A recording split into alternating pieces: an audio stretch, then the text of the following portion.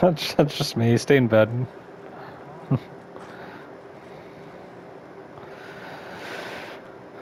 Alrighty.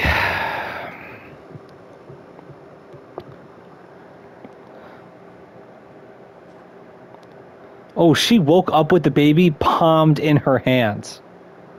Underneath her already. She slept on top of the baby. She literally did.